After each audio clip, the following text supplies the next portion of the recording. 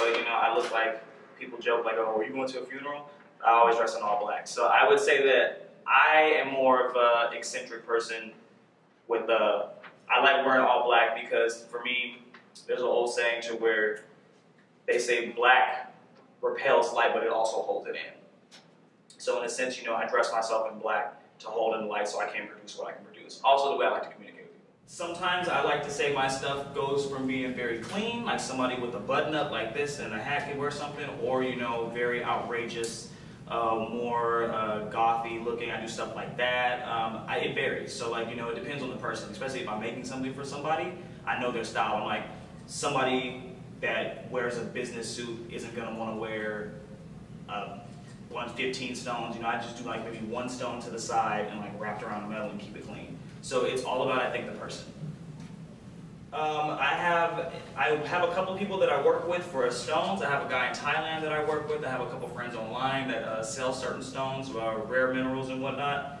And uh, I use sterling silver. Uh, I use heat. I use a torch to actually fuse the metal together files to shape everything down, make sure everything's super clean, burnishing tools, uh, pliers like these, and when you guys get a good look, you'll be able to see that everything is all hand done. And um, yeah, so just silver, heat, some pliers, and my hands and my imagination.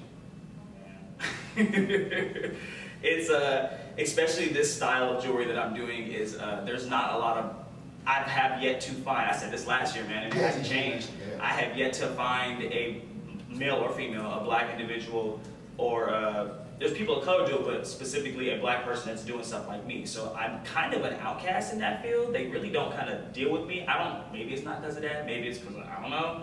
But it's just funny how uh, an occurrence that I've gotten since last year when I spoke uh, with you guys, um, my levels have I've, I've, gotten a lot better, so to say. And um, I've noticed when people see my jewelry and they're familiar with that style, they always go, oh, that's tight, who made it? And I'm like, I made it.